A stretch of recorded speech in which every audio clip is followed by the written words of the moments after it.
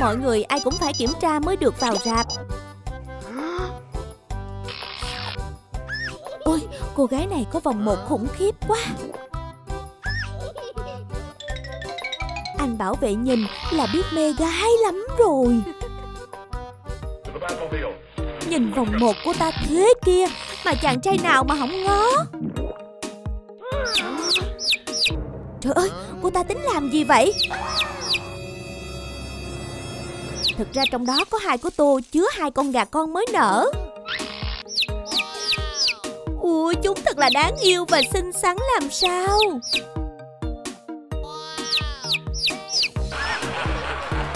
Chỉ cần bỏ trứng vào tô rồi cho vào bên trong áo là xong. Cặp tình nhân này đang thật hạnh phúc.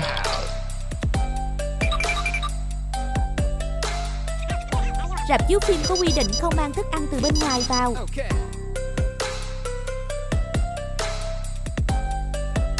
Anh bảo vệ kiểm tra rất là kỹ. Cô gái hôm qua lại đến xem phim hả?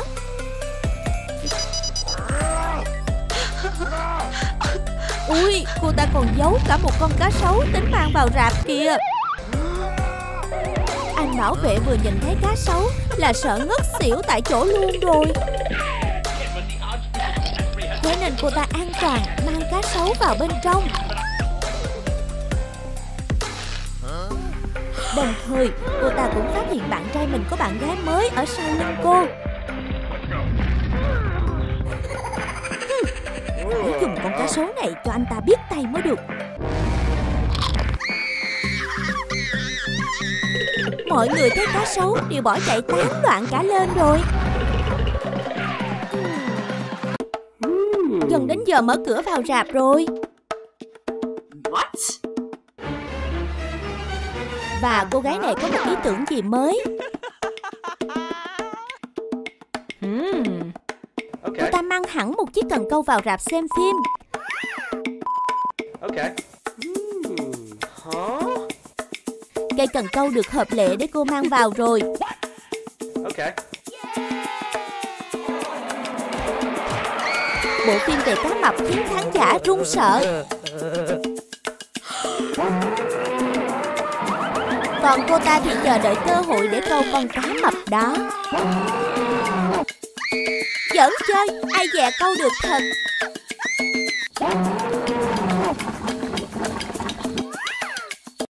tội anh bảo vệ này thôi. Lo mà chạy lẹ đi nhé.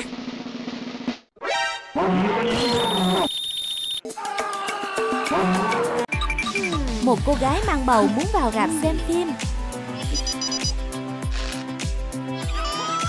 Nhìn bụng bầu cô ta có vẻ gì lạ quá.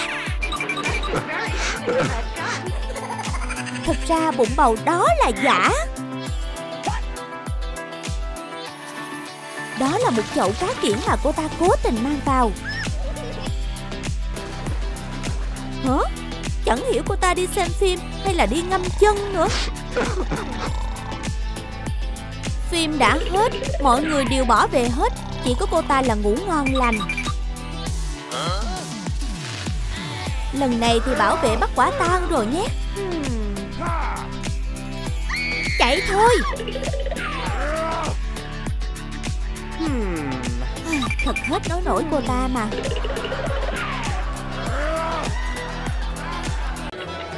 Mọi người trật tự xếp hàng gây ngắn, chờ kiểm tra vào rạp nào. Nhưng anh chàng quyết định gây cảnh náo loạn để vào rạp phim. Để cho đỡ nhàm chán, Anh bạn này có mang theo một con thỏ giấu trong ba lô. Tới giờ cho thỏ ăn rồi. Cô gái này rất thích chú thỏ nên muốn được bế chú thỏ. Lúc này thì anh ta bày trò dùng súng nước bắn ướt quần cô. Sao lại vứt chú thỏ đáng thương ở dưới đất thế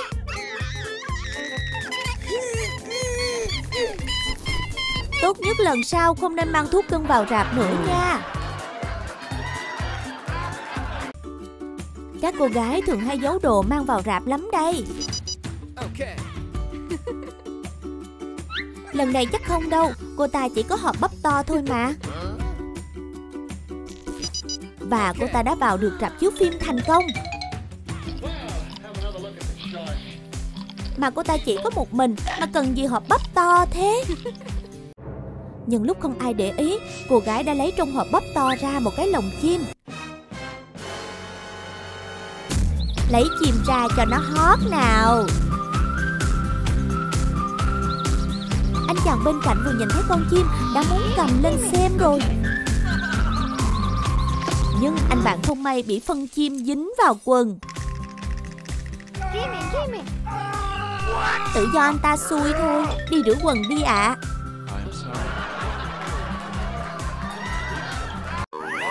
Cô gái mang vào rạp xem phim một chú mèo.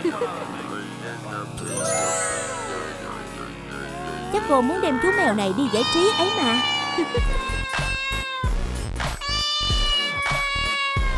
Có mèo bầu bạn với cô ta, Nên cuộc sống cũng vui hơn nhiều.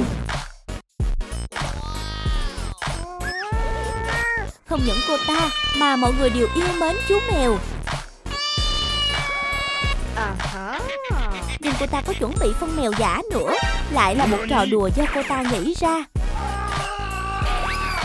Ôi không, Tội nghiệp chú mèo bị đá bay xuống đất rồi.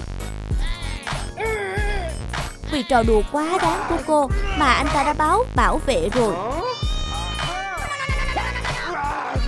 Chú mèo lập tức đã bị mang đi ra khỏi rạp. Trách ai bây giờ? Trách cô chủ của chú mèo mà thôi. Mà do chú mèo cũng đáng yêu quá đó chứ.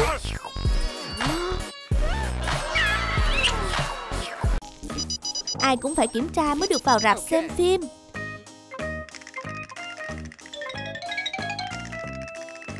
Cô gái mang theo thức ăn hả?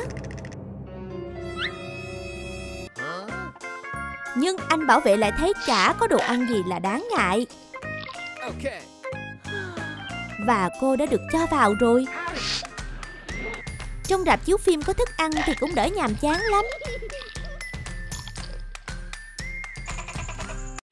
Nhìn kỹ xem Trong hộp có một con tắc kè nữa kìa. Cô ta có sở thích kỳ lạ khác người quá Vì cần đi vệ sinh Nên cô ta nhờ bạn ở bên cạnh giữ hộ. Cơ hội được ăn ké đến rồi.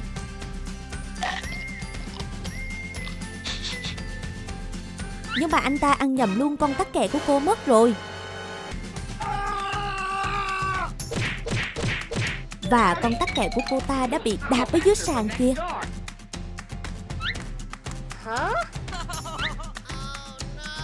Ôi không, còn tắc kè dễ thương của tôi. Bắt đền anh đó. Bộ phim hôm nay không đến nổi tệ nhỉ? Sao cô gái này đến trễ vậy? Trên đầu cô ta còn có thứ gì đó? Ôi, thì ra là một con rắn. Đáng sợ quá đi. Ai thấy rắn mà không sợ chứ? Cô ta có sở thích nuôi thú thật lạ. Bộ phim này thật sự quá nhàm chán rồi. Trong lúc buồn chán, Cô gái này đã lấy ra hộp gì đó.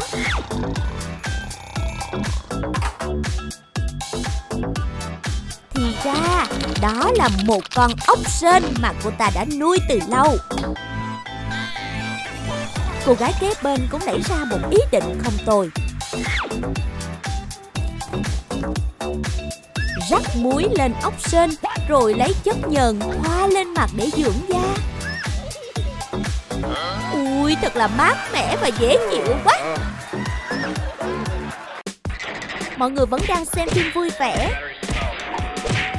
Hmm. Trong khi đó, cô gái này đang vui vẻ hơn với đàn ông.